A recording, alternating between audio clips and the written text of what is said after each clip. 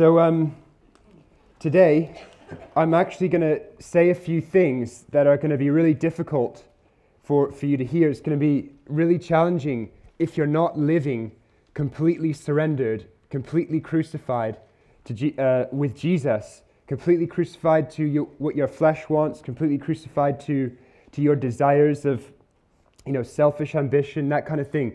So there's going to be some uneasy things, and uh, maybe it's going to make you wonder, well, do I even really know? Do I even really know Jesus? And if that's what you feel like, then we're also going to give you an opportunity to make sure you get right with Jesus today.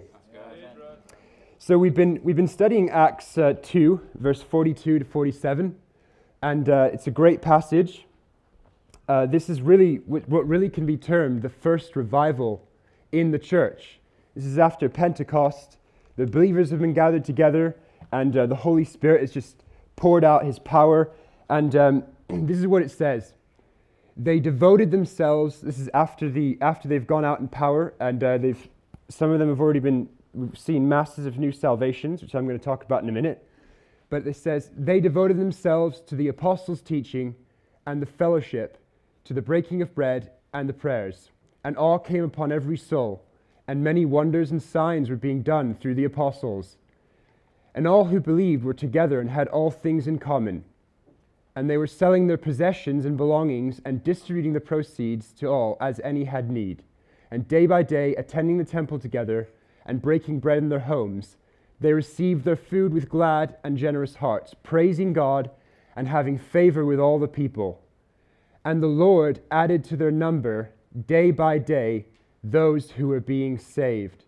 And this is what we're talking about today.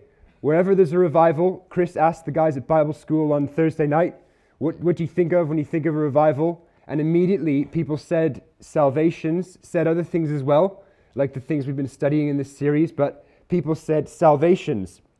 And day by day, people were being saved. And uh, this is what we're talking about today. But uh, people didn't uh, just get saved just they didn't just happen to just happen that way. We see beforehand that Peter has actually been speaking and preaching the gospel to unbelievers. They all received power at Pentecost. They went out boldly and led by Peter, they were speaking the word. In verses 40 to 41, so this is just before, it says, And with many other words he bore witness and continued to exhort them, saying, Save yourselves from this crooked generation. So those who received his word were baptized, and there were added that day about 3,000 souls. So they go from about 120 at Pentecost to about 3,000 people in a very short space of time. That looks like a revival. Um, and uh, I've actually been looking at, uh, I've been studying church history lately, and uh, I was looking at a historical revival in the church. Uh, and uh, it's uh, the Welsh revival I've been reading about as I've been ill. This week I've been, I've been quite ill. Uh, it was so bad that uh, I think I'm one of the only people on the Isle of Man who still hasn't been to the new Starbucks. So uh, it was. That's how bad it was. But um, I've, as I've been ill, I've been taking the opportunity to read this account of, by an eyewitness of the Welsh revival of 1859 now, this is one of the most notable revivals in history. And uh, the whole nation was swept up. And here's the account of how it started. I just want to read it to you because it's so, it's so powerful. An influence was felt by all present, which we had never experienced in like manner before. There was a beauty, a loveliness about the holy word, which we had never hitherto perceived. New light seemed to be thrown upon it. It electrified us and caused us to weep with joy. All present were under its influence. The hardest hearts were forced to succumb. And then we sang, I sang with spirit, and repeated the last two lines for a full quarter of an hour. We felt that we were communing with God. We could have prayed all night, and thus the meeting was carried on for four hours. Feels, it felt a bit like worship this morning. I think we felt a little bit like that even this morning. It was, it was so profound. Uh, the, it goes on. The effects were not transient. That word means lasting only a short time. They have left a deep impression on our minds and have influenced our conduct for good. We feel more serious, more ready to speak about our religious life, more anxious as regards the salvation of the world, and more desirous that the Lord would dwell amongst us and favor us with a still greater outpouring of His Holy Spirit. And after that incident, the, the accounts of salvations that just kept happening make for remarkable reading. And the rest of the book is basically just accounts of that. And it's, it's, it's hard to keep track of how many people were, uh, were coming to belief. And here's some of the reports from the reverends around from, and the ministers around Wales. One reverend writes, speaking only of one county in Wales, at the end of February 1859, we could name more than 20 churches, each of which has received an addition of 100 members, and several have received more than 200. Another reverend, writing his report, said, Indeed, now there are only six people in this valley who do not profess to be Christians.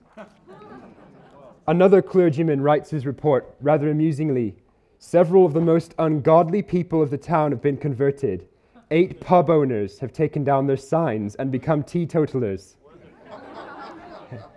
Amen. Elsewhere, a reverend said, Surely Jesus must have returned, and this is the start of his millennial rule, which is referred to in, in Revelation. When Jesus comes back, he's going to rule for a thousand years. It's going to be awesome. I hope I'm there. And uh, we learned about that from, from this man here at Bible school. So good. But um, the author actually estimates that 50,000 people gave their lives in Wales that year.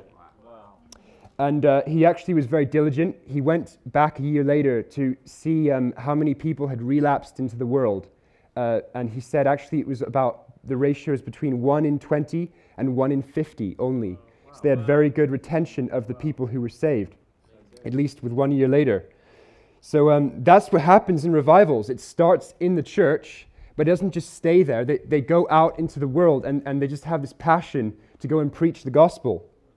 And it just seems to spill out of them. It's not like they have to force themselves and kind of, uh, you know, learn uh, 10 techniques. Like, this is how you preach the gospel. No, it just, it just spills out of them. And uh, people are believed, people respond and are saved. And uh, as we eagerly wait uh, and expect the Lord to move as this river rises um, today, let's look at what it means to be a people devoted to evangelism. So, my first point is, and this is your first fill in, is uh, it's our job to tell. So most of you will be aware of that reality as followers, as followers of Jesus. It's our job to tell. But um, I thought about this sentence and I thought, I want to reflect on uh, each word, uh, each of the important words, and just have that emphasis and, uh, and see what we can get, what Bible verses back that up. So hopefully you'll see what I mean. Uh, first, we'll go with it's our job to tell. So, emphasis on the word our.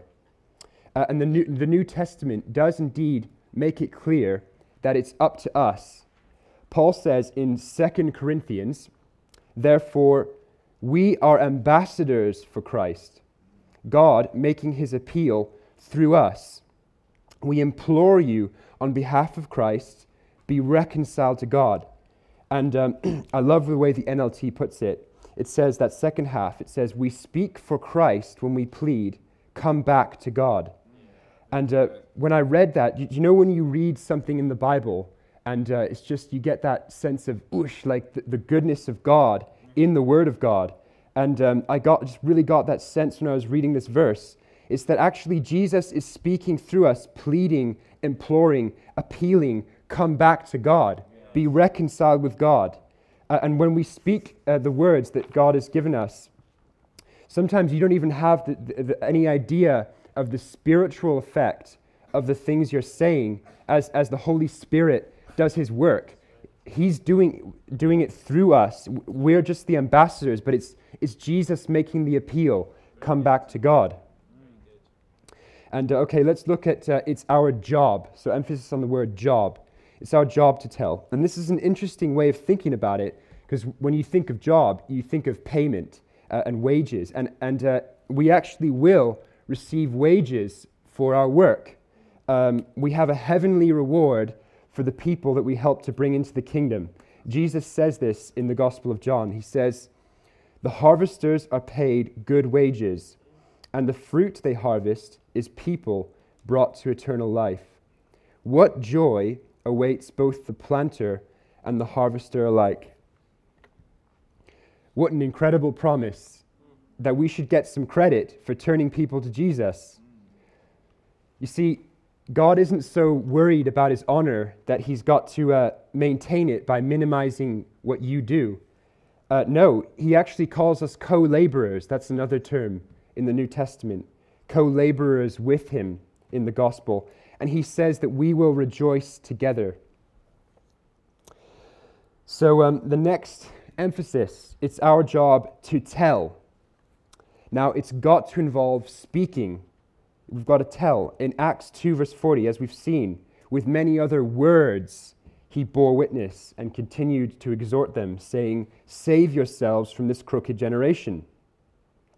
Now, many people will tell you that, um, you know, I don't, I don't speak or verbally share my faith, uh, but people know I'm a Christian and that I go to church, and uh, you know, I just I just hope that uh, kind of they see that in me, and uh, they kind of come and ask me questions, or um, you know, they just kind of ask to come to church, or you know, at most I'll hand out leaflets on the street, but uh, you know, I don't I don't want to talk to anyone.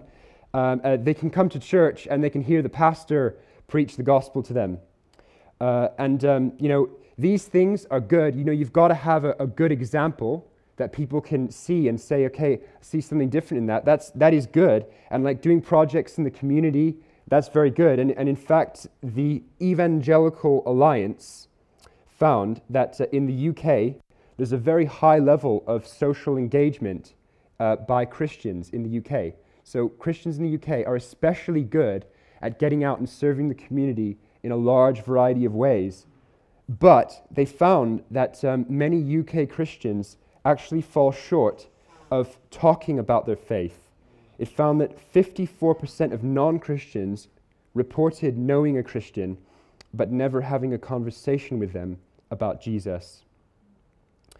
So, as, as I said, people have, people have got to see the, the holiness of your life, and they've got to kind of want that. They've got, they've got to say, see there's something different about you, but don't just settle for that in, in your workplace, uh, when you play football with, your friends, every situation you meet non Christians in. Don't stop there. Don't, don't try and let your silent wit- wit- witness do the talking. Ask the Holy Spirit to help you go to the next level. Ask Him for that boldness where, where you get the opportunity, you can just speak in power. As Paul says in 2 Corinthians, he says, It is written, I believed, therefore I have spoken since we have that same spirit of faith, we also believe and therefore speak. So, as I was saying at the beginning, you know, all of this, this is very bold, this is very challenging. You know, you, you, can't do this without that spirit of faith, without the Holy Spirit working in you. And uh, we're going to have an opportunity at the end. If people need that, that boldness, need that filling of the Holy Spirit, or they need that heart for the lost, we're going to have opportunity for to pray for people. The next fill in is um, if you want to preach the gospel like they did in the New Testament, we must be a people devoted to the whole gospel. So if you turn to Acts 20, you see Paul saying, Therefore I testify to you this day that I am innocent of the blood of all. For I did not shrink from declaring to you the whole counsel of God. Now, I, I don't know about you, but I want to be innocent of the blood of all by boldly declaring the whole gospel. Now, what does that mean, the whole counsel of God, the, the whole gospel? What do I mean by that? Am I, am I saying you've got to recite the whole canon of Scripture to, uh, to every non Christian that you meet? No, that's only for the Living Hope interns. But uh, it means, what it means is it means not covering up or, or making more appealing certain parts of the gospel, certain parts of the word of God to try and, you know, get people interested, get people into the church. It means not tampering with uh, the word of God.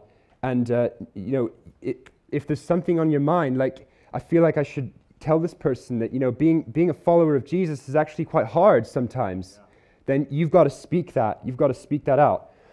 It says in uh, uh, 2 Corinthians 4, verse 2 We refuse to practice cunning or to tamper with God's word, but by open statement of the truth, we would commend ourselves to everyone's conscience in the sight of God. Now, you've, you've got to remember that when you preach the gospel, not everyone is going to believe. Not everyone's going to take you up on it. So you've got to be ready for that. I mean, Jesus was a great preacher, and he was rejected by some. And, uh, you know, he was so good at preaching, some would say even Lucas Nikos isn't quite as good. but uh, people still, like the rich young ruler, said, you know, I, I can't give up my riches. You know, I want, uh, this is what I love more than, more than uh, you, Jesus. Or Judas. Judas spent three years listening to Jesus preaching, and uh, in the end, turns out he didn't believe Jesus was who he said he was.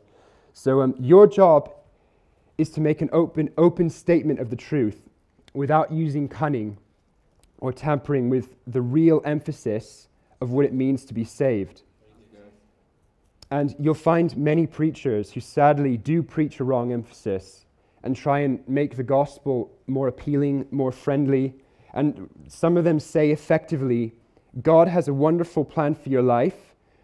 That's true, but they emphasize this God has a wonderful plan for your life. Just believe, and everything will be fine. That's essentially what they're preaching. Just believe, and everything will be fine. And um, this is so dangerous to preach because what happens to that person when everything isn't fine? When they face the fiery trials come, that come to test their faith, more precious than gold. You know, our faith is that precious, but trials come to test it. And uh, when, when you have that uh, kind of test come, that kind of crisis in your life, that you see the Christian life is actually really hard. Uh, it's so hard that you need God's help daily to live it. That's why uh, in 412 and in this church, we preach come, die, live.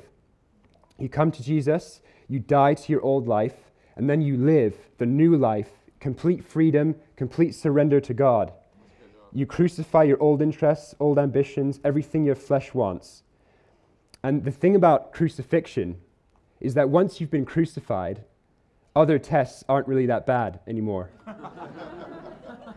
so um, some, some of the tests that can come uh, in, as a life, in, in life as a Christian that I, I was thinking of was, uh, in the last few days was what, what, here's a test. What if you haven't crucified your love of money and then you start earning a lot of money, or you get offered a job where if you work more, you can earn a lot more money.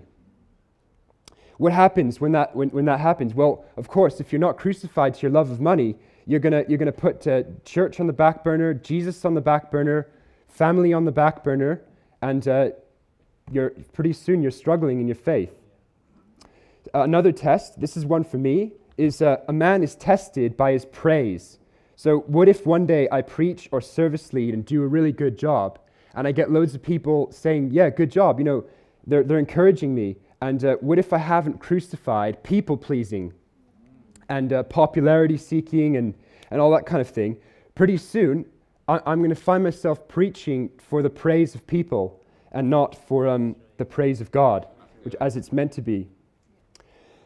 Um, another, another one is um, when, when, you're, when you're kind of allured, tempted for a, a, ro- a romantic relationship that you know isn't right, maybe it's with a non Christian. As a Christian, you know, it says you shouldn't uh, date a non Christian, go out with a non Christian. It's just, it's unequally yoked. It's not God's best plan. And, uh, you know, if you're not crucified, because that, that allurement can be really powerful, if you're not crucified to um, that, that ambition, and, then, and you're not saying, Lord, not my will, but yours, you know, you're really vulnerable because Satan is going to come and whisper, you know, did God really say you shouldn't go out with a non Christian? You're going to be put through that test. Another test you can get is offense.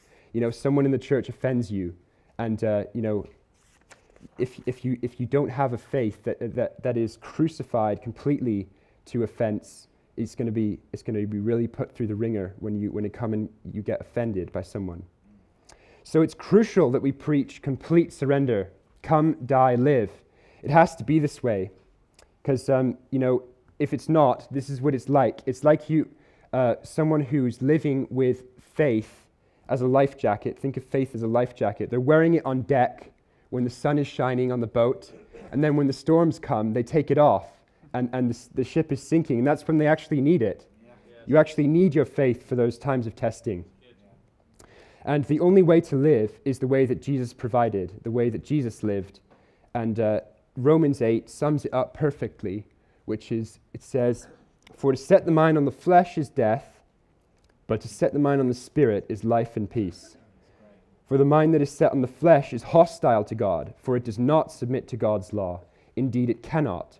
Those who are in the flesh cannot please God. If you live according to the flesh, you will die. But if by the Spirit you put to death the deeds of the body, you will live. For all who are led by the Spirit of God are sons of God. Do, do you see that? Yeah. You have to have your mind set on the Spirit in order to have life and peace and to please God. This is the kind of surrender that God requires, and it's the best way to birth people into the kingdom when they want to receive salvation. You know, I really am grieved. It's probably the number one thing that grieves me uh, is when people fall away from faith because they didn't have that correct understanding of complete surrender. And, and you see them, they're walking for a long time in what you thought was a healthy faith, and you were seeing all kinds of uh, fruit on their life. You know, you were seeing them uh, do amazing things. They were, they were a massive encouragement. And then they fall away because they, they didn't understand, they didn't have that faith that's completely surrendered. And I think that grieves God as well when that happens. in the, in the uh, Welsh revival, people would sometimes be found in large groups just weeping and begging God for um, mercy because they had a revelation that their own righteousness wasn't enough, their own righteousness wouldn't save them. And uh, the reality is, we have to come to an understanding of how desperate we really are for God. You know, God wants, He loves us so much that He wants us that close to Him. He wants that intimacy with us. And, and we really are desperate for Him. And uh, I like to think of um, we're all as desperate as one of the most desperate people you'll see in the Bible, who's the thief on the cross. And uh, this, is, this is really how desperate we are, and how, how a person, it, it, helps if they understand this um, when, when they're coming to salvation.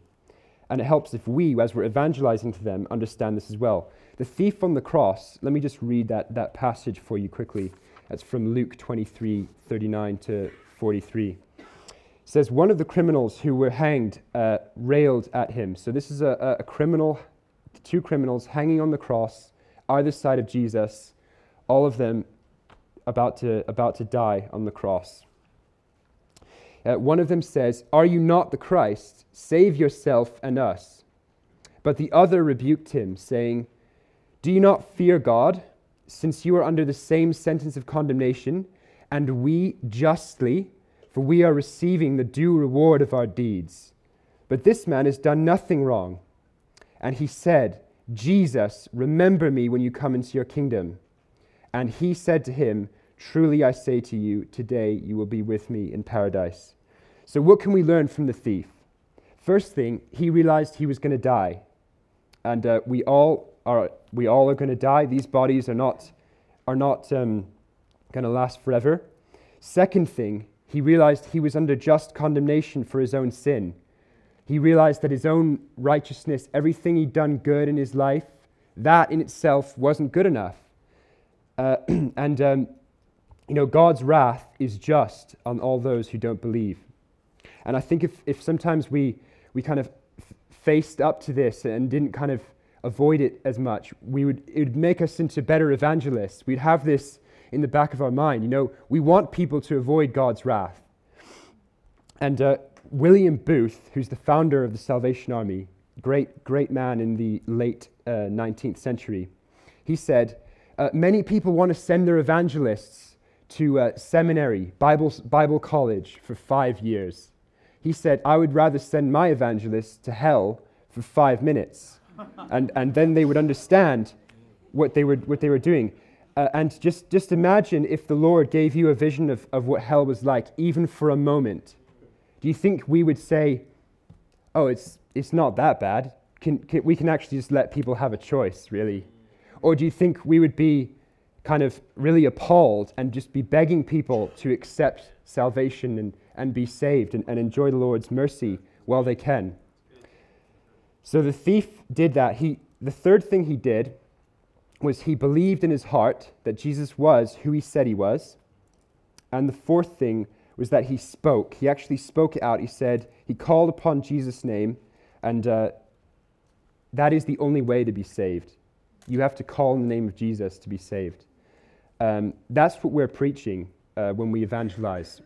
We're not preaching church. We're not saying the church can save you. Come along on a Sunday. The church is God's people on earth, it's the plan that God has for, for blessing the earth. But it's not the church that actually saves you. It's Jesus. It's the person of Jesus that saves us. And it's important that uh, as you have that in mind, as you're pointing people towards Jesus, is that they don't get the wrong idea that coming along to church is somehow what they, what they need for salvation. Of course, that's going to help. Uh, it's going to help them understand, but it's Jesus that we're pointing people to. Jesus crucified, offering forgiveness to all who believe, all who repent and follow him. And uh, yeah, it's, it's we're introducing them to Jesus and saying, get right with God through him. Okay, so all this stuff is challenging to believe and live by, as, uh, as, we've, been, as we've been saying. And my key, is, uh, my key point is the next point, which is that to do all this, you've got to have a close connection with God, intimacy every day. So, my next point, next fill in, is abiding leads to fruit. So, and for that, we'll go to the classic scripture, John 15, verse 5. I am the vine, you are the branches. Whoever abides in me, and I in him, he it is that bears much fruit. For apart from me, you can do nothing. So that, that's, that's awesome news. It's like all of your exertion, you don't have to do any of that. All of your concentration, you know, that doesn't lead to fruit. It's abiding in Jesus by His Spirit. That's what leads to fruit. And abiding is a bit like resting, it's just being with Him. Some translations say remaining, staying. As South Africans say, they say, uh, I stay here instead of I live here. I think that's pretty cute. and uh, so, the, the ways we can abide, we know them. We know how to abide. It's reading the Bible, listening to God, praying, obeying His commandments. Th- these are all ways we can abide.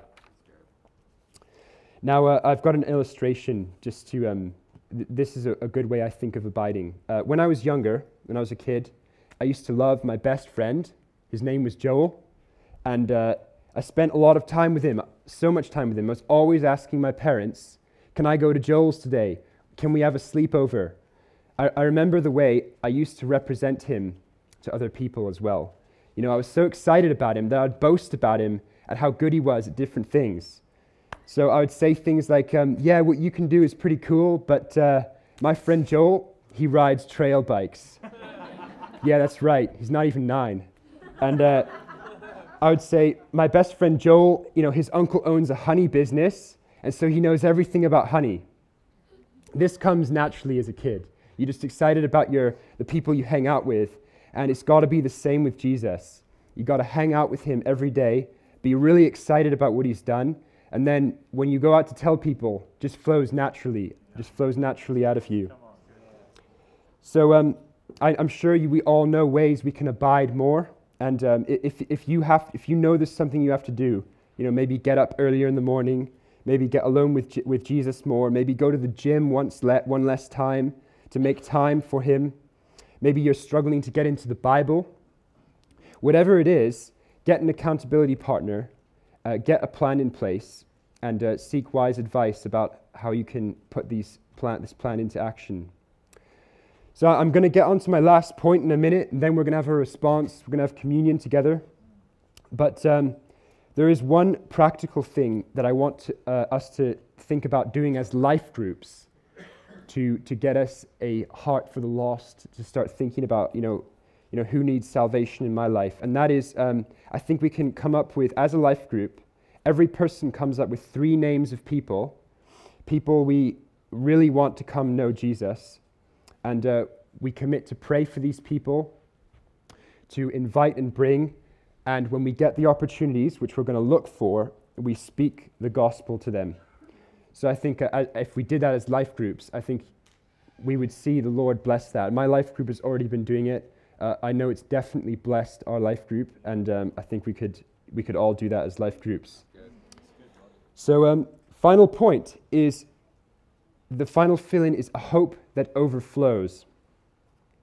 You see, I think knowledge, as, as I've been saying, I, don't think knowledge of the gospel um, is a problem. I think we, we, a lot of us have knowledge here. We know what the gospel is. Uh, you know, I've hopefully encouraged you to preach the whole gospel, you know, not cover it up.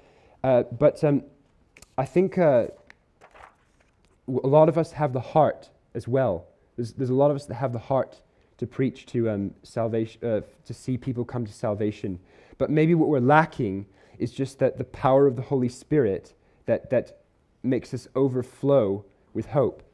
And, uh, you know, maybe when we go about it, we're, we're doing it from a forced robotic e- exoskeleton, which is what Jonathan was talking about last week. And I'd really like for us, those of us who, who kind of feel like they're, they're just needing that overflowing with hope in their life, with the gospel, I, I, I want to pray for you as part of the response today. And um, we can see just the, the river rising just and brimming out of us. And uh, the power will come, and, and, we'll be able to speak with power.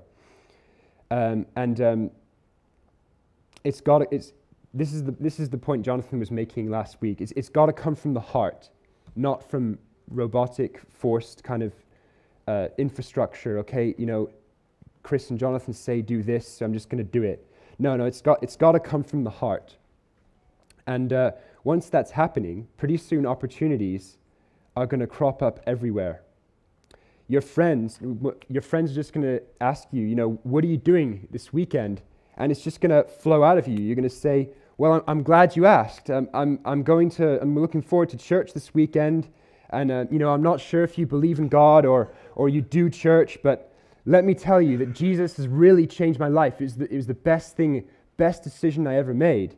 And uh, just like that, you're off. And, uh, you know, there's, there's, the guy can't escape. He's like, uh, there's no stopping you. So um, if, if you don't do that, if, if, you don't, if it doesn't kind of flow that naturally, uh, it, it just doesn't work. I mean, it's like, uh, it's like knocking on someone's door at 3 a.m.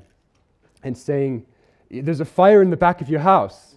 Because that's what we're doing. We're telling people, you know, you, you got a problem, and, but you can solve it by coming to Jesus. It's like doing that, saying there's a fire in the back of your house, someone at 3 a.m., but saying it really dispassionately. And the, the outcome is that you're going to get a bucket of water thrown over your head. So um, it's got to come from, from the heart. It's got to come from, from overflow, as this verse says in Romans. May the God of hope fill you with all joy and peace as you trust him, so that you may overflow with hope by the power of the Holy Spirit.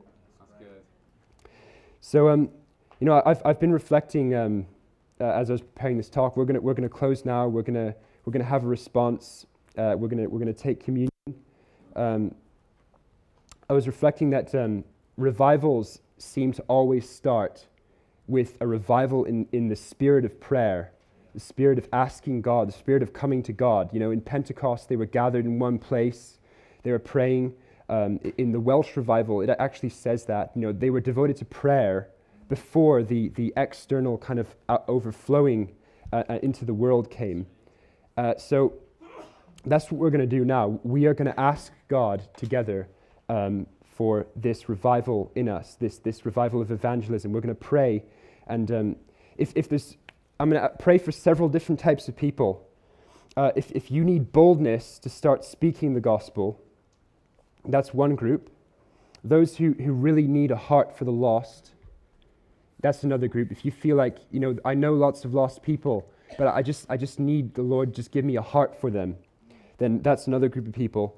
And a third, a third group is, you know, you're, you're going for it. You're, you're using opportunities. I, there's a lot of you, there's a lot of us here. I, I hear great stories. We're using opportunities um, to speak the gospel, uh, but you, you just want to take it to the next level. You want that power. You, you would say you even want the gift of evangelism. The Bible says, eagerly desire the greater gifts. So if you're in one of those three categories, what we'll do is um, I, would like you to stand now. If you, if you feel like that's you, then just boldly stand where you are. I'm, I'm going to pray for us. And then what we'll do is um, I'm going to pray for everyone as well, that the, the Spirit would move, would just ignite in us a heart of urgency. Like, I want this revival to come. You know, we want this river to rise. And then after that, at some point, we'll, we'll ask you to come down and take communion. We'll have the, the life group leaders down here. And if, if you wanted that response, if you're responding for that, then come down and get prayer down here as well. And then finally, if you're not sure about whether you're right with God, if, if all this I'm saying is kind of like, whoa, that's, that's really radical stuff, you know, uh, I'm not even sure if I'm right with God, um, then come down as well. Uh, speak to one of us. We would love to pray with you and just help you find peace with God and just, just lead you to the cross. So, um, Father God, Lord, I just, I just pray for everyone standing, Lord, right now, just everyone responding.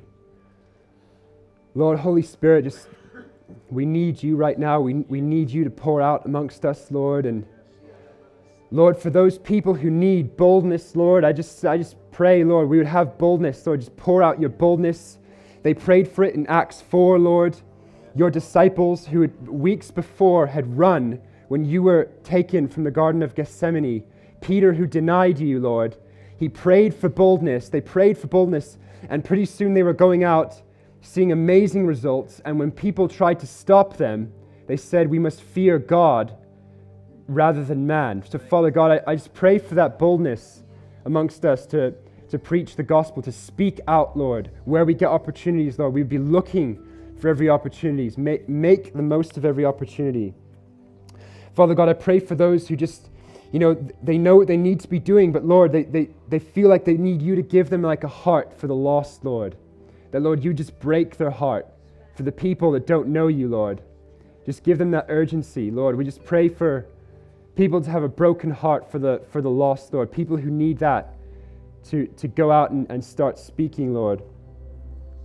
And Lord, I pray for those who are, they, have got this, Lord. They, they're on their life, they're, they're going out and just speaking the word, Lord. They're telling people how to be saved, but they just want to take it to the next level, Lord. They want your power to come upon them, Lord. And just, I pray for the gift of evangelism for those people as well, Lord Jesus. And Lord, I do pray as well, Lord, if there's anyone here that doesn't know you, Lord, that, uh, or that just wants to be sure, Lord, wants to come down and just find peace with you, Lord. That, Lord, they would come down and just, Lord, we would gladly point them to the cross and just show them the way that they can be saved, Lord, because you made a way. And Lord, finally, most of all, we pray for this river to rise up, Lord, yes, just that, Lord. that it would, we would just be over our heads, Lord. Just we want to see your revival here, Lord. We, we want to position ourselves for, for the revival, Lord. We want to go out in power, Lord. We want to just, Lord, use us, Lord, just uh, put in, into us that sense of your power, Lord, that sense that this is your house. We could stay here, Lord, for forever. We could stay here for four hours like they did in the Welsh revival, Lord. And then after that, go out and, and speak boldly, not even thinking twice. Well, what about pe- what are people going to think? No, Lord. Just the joy would just overflow out of us, Lord. We want to see your revival. In Jesus' name, amen. amen.